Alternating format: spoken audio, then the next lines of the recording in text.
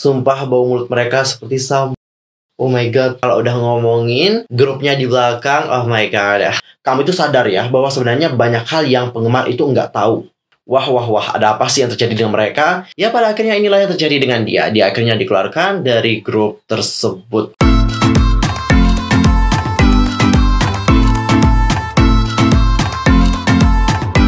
Hey yo, what's up guys? I'm Yusuf Kim. Welcome back to my YouTube channel. Nah gimana sih kabarnya hari ini? Tolong dong kasih tau ke dan jawab komen di bawah. Sakit nggak? Galau nggak? Sedih nggak? Intinya buat kalian yang nggak lagi fine-fine aja untuk saat ini, keep fighting guys. Don't give up. Oke okay, guys, untuk hari ini kita akan ngebahas tentang sifat asli dari idol K-pop yang akhirnya ke bongkar. Dan dikarenakan uh, sifat asli mereka udah kebongkar, ada beberapa dari mereka yang sudah mendapatkan konsekuensi yang besar banget. Bahkan mereka ini dikeluarkan dari grup. Wah, parah banget sih.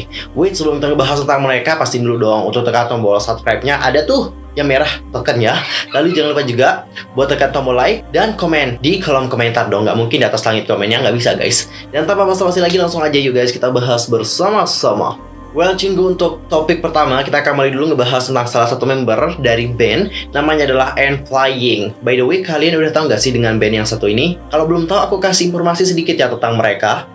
Well guys, buat kalian yang nggak tahu, N Flying itu adalah boy band, anggotanya itu ada lima orang member. Nah untuk membernya itu ada Song Hyuk, lalu ada Hoon, lalu ada Jaehyun, Wei Song, and last adalah Dong Song. Dan mereka itu punya satu orang ex-member namanya adalah Kwang Jin. Nah, band ini itu mulai debut pada tanggal 1 Oktober 2013 di Jepang dan tanggal 20 Mei 2015 mereka ini barulah mulai debut di Korea. Dan untuk agensi, agensi mereka adalah FNC Entertainment. Dan mereka seharusnya itu melakukan debut di Korea pada tahun 2014. Tapi debut mereka ini ditunda karena salah satu membernya yang bernama Song Hyuk itu mengalami cedera pada lututnya. Well guys, itu adalah informasi singkat ya mengenai M Flying. Kalau kalian pengen dapatin informasi yang more and more, kalian bisa cari di Google karena sebenarnya informasi di Google juga udah banyak banget. Untuk kali ini kita akan lebih fokus saja ya untuk membahas ex membernya yang bernama Kwang Jin. Kalian tahu gak guys, Kwang Jin itu kan udah keluar ya dari grup. Kalian itu pasti bertanya-tanya dong, alasan dia keluar dari grup apa? Aduh, karena dia itu terkena kontroversi guys. Kontroversinya apa? Jadi kontroversinya adalah dia ini kayak mengencani pemilik fansite. Jadi fansite ini adalah orang yang kayak apa ya ngebuat sebuah website itu. Jadi nanti di website itu dia akan menuliskan informasi mengenai sebuah grup. Dan biasanya fansite ini juga sering ngikutin grup ke mana-mana gitu. Dan khusus untuk Kwang Jin ini gak hanya mengencani tapi dia itu juga melakukan yang namanya pelecehan. Intinya ini tuh parah banget guys, sumpah ini parah banget. Dan kalian tau nggak kontroversi itu bermula dari pengakuan beberapa penggemar. Ingat ini tuh beberapa, jadi bukan hanya one, ya mungkin satu, dua, tiga, intinya lebih dari satu, itu deh. Jadi dia itu kayak mengeceni penggemar sejak dia itu mulai debut. Jadi dia ini melakukan pelecehan seksual kepada penggemarnya saat dia itu melakukan fansite. Waduh, sambil menyelam minum air ya bang. Dan gak hanya melakukan itu saja kepada penggemar, dia ini juga kayak menilai fiksi penggemar itu dengan mengomentari wajah dan juga tubuh mereka. Nah, postingan tersebut juga menuduh bahwa Kwon Wang Jin itu berbicara buruk tentang sesama member M Flying, agensi hingga penggemar. Wah wah wah parah banget ya kalau udah ngomongin grupnya di belakang. Oh my god ya parah banget sih menurut aku. Kalau agensi mungkin ya dapat diterima lah. Tapi kalau ngomongin sesama member di belakang juga nggak baik. Apalagi ini juga sampai ngomongin penggemar. Waduh waduh waduh waduh dan salah satu pengenal komunitas online juga menuliskan bahwa sejak ia debut, ia mengecani penggemar dan menggoda mereka, melakukan yang seksual, berbicara hal yang buruk tentang member lain, dan juga agensi. Ia berbicara seperti aku nggak mau jadi penyanyi deh, aku lebih baik pergi wamil atau main bass, itu nyaman karena aku cukup menggerakkan jari. Paling buruk ia mengatakan ada gadis lain yang berencana pergi ke rumah bordel. Bagaimana bisa tokoh publik menggunakan ucapan yang tidak pernah diucapkan bagi penggemar. Aku malu aku bahkan nggak berbicara soal itu sampai saat ini. Dan sekitar akhir musim dingin, walaupun dia bukan bias atau member yang disukai di grup, dia tetap menggoda aku saat fansign, meminta aku pergi keluar dan memberitahuku untuk tidak berkencan dengan pacarku. Wow, wow, wow, wow. Aku akuin sih dia emang mungkin kayak mempesona apalagi anak band kan gitu lah. Anak band kayak gimana mereka itu kayak berkarisma gitu loh guys. Jadi ya mereka emang penggoda yang benar-benar wow banget gitu. Jadi di saat mereka ngegoda cewek itu pasti ceweknya langsung kena gitu. Meskipun mereka pada awalnya mungkin nggak ngebayasin dia ya, tapi udah kalau sekali udah ya mereka pasti akan kayak ya udah luluh aja gitu. Apalagi ini juga artis Siapa sih yang nggak mau gitu? Dan menanggapi isu itu, agensi Kwon Kwang Jin yaitu FNC Entertainment mengatakan bahwa apa yang diceritakan secara online tidak benar. Namun artisnya itu mengakui melakukan interaksi pribadi dengan penggemar di luar jadwal resmi. Jadi setelah melakukan diskusi panjang telah ditentukan bahwa ia akan meninggalkan agensi secara sukarela karena tindakan semacam itu dianggap nggak pantas bagi seorang idol. Sampai kami menetapkan fakta semua kegiatan Kwon Wang Jin akan dihentikan dan dia akan merefleksikan diri. Selain itu, Cinggu pihaknya juga akan mengkonfirmasikan fakta-fakta seputar yang dituliskan dalam postingan online. Apabila hal tersebut merupakan rumor palsu, maka pihaknya pun akan mengambil tindakan. Atas hal ini, FNC juga berjanji tidak akan ada perubahan untuk kegiatan promosi pada member and Flying. Grup yang debut tahun 2015 itu juga akan terus memberikan musik dengan citra yang lebih baik bagi para penggemarnya. Dan untuk informasi terkini guys, pada Kamis 8 Juli 2021, Kwon Kwang Jin telah merilis foto di Instagramnya dengan keterangan yang mengatakan bahwa dia sedang bersiap untuk menikah. Yeay, finally married ya. Dan foto tersebut juga menunjukkan Kwon Kwang Jin berpegangan tangan bersama dengan calon pengantinnya. Yang lebih menarik perhatian adalah Kwon Kwang Jin mengenakan seragam militer dan berfoto bersama dengan calon pengantin guys. Bersamaan dengan foto tersebut, Kwon Kwang Jin juga menunjukkan kasih sayang kepada calon pengantin, menambahkan, aku nggak pernah bertengkar saat mempersiapkan pernikahan dan untuk tuduhan mengenai dia yang telah melakukan pelecehan yang kayak gitu dia itu tetap membantah dia itu bersikeras bahwa dia itu nggak pernah melakukan hal tersebut tapi ya ngaku kok. Ya itu juga berkencan sama penggemar tapi nggak melakukan yang kayak gitu gitu Ya kalau masalah itu aku sih no comment ya guys. Karena yang menjalani hubungan kan mereka berdua ya. Apakah dia melakukan atau tidak? Ya cukup. Mereka berdua yang tahu sama Tuhan aja deh yang tahu. Dan sekarang kita akan masuk ke idol yang kedua. Ini juga sama kasusnya. Dia itu kayak ngatain penggemar dari belakang. Ini adalah salah satu member dari Boys 24 Nama member yang aku maksudkan di sini adalah si Lee Hwa-young BTW kalian tuh udah tahu nggak sih dengan grup Boys 24 Aku yakin banyak dari kalian yang mungkin baru denger ya nama grupnya padahal ini lumayan populer loh guys di Korea sana. Jadi Cinggu Boys 24 atau Sonyeon Ishipsa kalau dalam bahasa Hangul ini merupakan boyband pradebut Korea Selatan yang dibentuk oleh CG INM melalui program survival tahun 2016 dengan nama yang sama yaitu Boys 24. Jadi grup ini terdiri dari 27 orang member dan dibagi ke dalam 4 unit. Nah, grup ini menampilkan pertunjukan reguler di aula konser mereka sendiri dengan debut 8 anggota terakhir yaitu Insuit pada 26 Oktober tahun 2017. Dan kalau kita berbicara mengenai Ih Wayong, apa sih yang terjadi dengan dia? Jadi Cinggu ada sebuah video yang beredar jadi videonya itu kayak berisi rekaman suara dari si Hwayong. Nah video tersebut disebarkan oleh mantan pacar Hwayong dan segera saja menjadi viral. Jadi di video itu si Hwayong ini kayak menghina face-nya sendiri. Bahkan ia juga menggunakan kata-kata kotor nih guys. Lalu seperti apa sih kata-kata dari Wayong? Ini kata-katanya juga cukup buat kita sebagai penggemar mungkin sakit ya. Apalagi yang sudah mengemari. Dia pasti benar-benar kayak sakit hati banget guys. Karena dia bilang kayak gini, aku suka sih dipanggil opa, tapi enggak oleh penggemar. Itu atau dipanggil opa oleh penggemar itu sangat menjijikan. Foto rasanya ya mengerikan saat sesi high touch saat kami harus menyapa dan memegang tangan penggemar. Kami harus menyapa 700 sampai 800 penggemar dan membuatku ingin muntah. Sumpah bau mulut mereka seperti sampah Oh my god, ini gila nggak sih kata-katanya ya Allah parah banget nggak yakin sih kalau penggemarnya itu pasti kecewa berat dan juga sangat ngekritik dia. Gila kata-katanya udah denger? Ini sumpah kalau kalian yang bilangin ini sama idol kalian gimana? Sakit hati nggak? Of course dong sakit hati dong ya guys. Gila aja gitu kan. Kita yang udah ngidolain dia, mendewa-dewakan dia tapi dia malah giniin kita breaking heart banget sih. Dan setelah video rekaman suara Hwayon tersebar, agensinya yaitu CNG langsung memberikan pernyataan di akun Facebook mereka. Mereka pun meminta maaf kepada fans Boys 24 yang merasa kecewa dengan apa yang dikatakan oleh idol tersebut.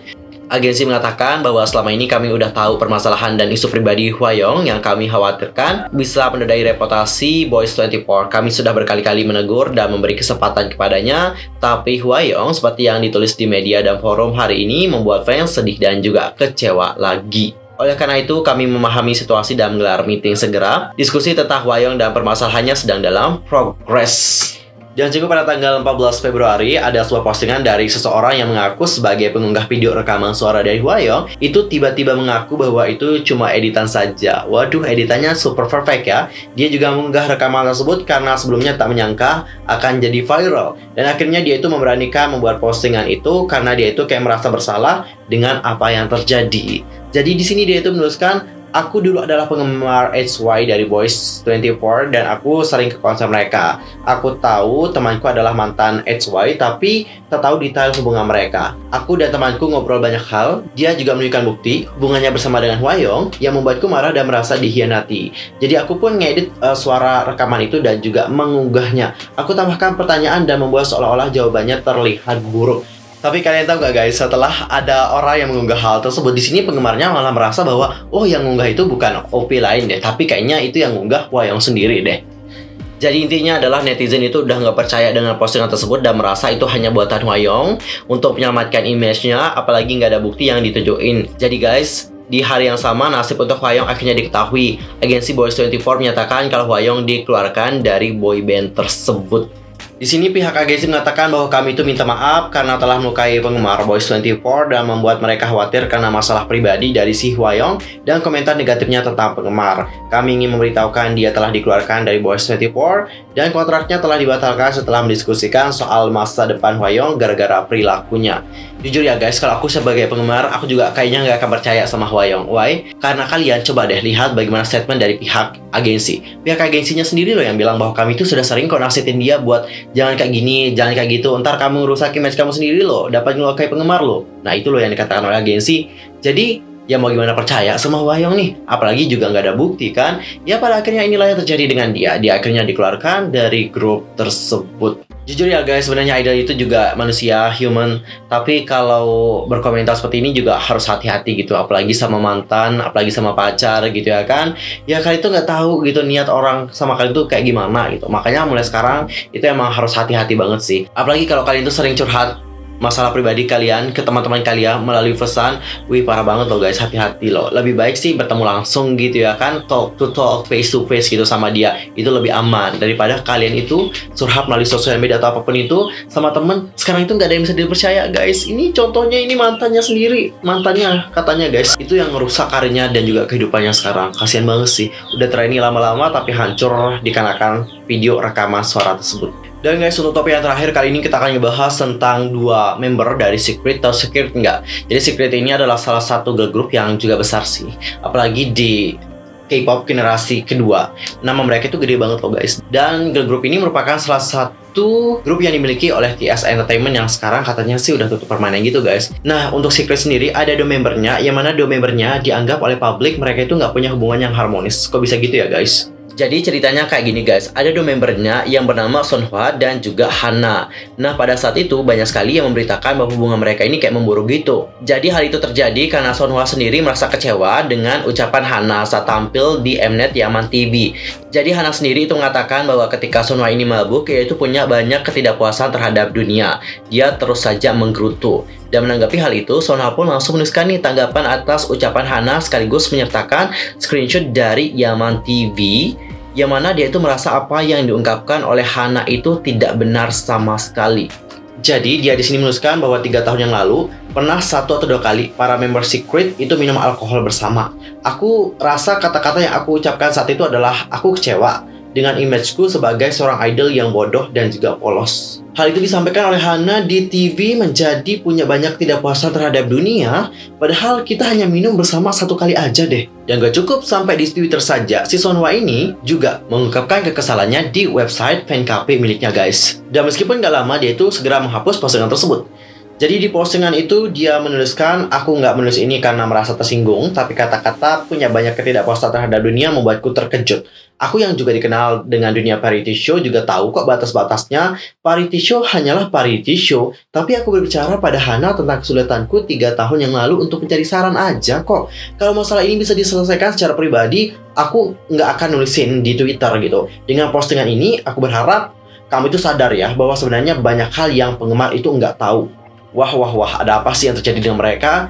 Dan menanggapi hal tersebut agensinya yaitu TS Entertainment segera angkat suara mereka sendiri sih mengatakan bahwa hubungan Hana dan juga Sonhwa itu baik-baik aja gitu. Fine fine nothing problem with them. Dan agensi juga menjelaskan lebih lanjut bahwa mereka itu nggak bertengkar gitu nggak seperti yang kalian duga gitu. Nah di sini si Sonhwa itu cuma khawatir gitu karena si Hana kan bilang dia itu punya tidak puasan loh terhadap banyak hal. Nah dia itu takutnya orang-orang anggap bahwa dia itu adalah artis yang nggak pernah bersyukur gitu atas apa yang telah dia terima Jadi itu loh yang dia takutin makanya dia itu speak up di Twitter gitu. Kalau speak up sama Hana doang ya udahlah permasalahannya clear gitu. Tapi kan sekarang balik lagi permasalahannya nggak cuma sama Hana doang, tapi permasalahannya juga sama netizen gitu ya kan.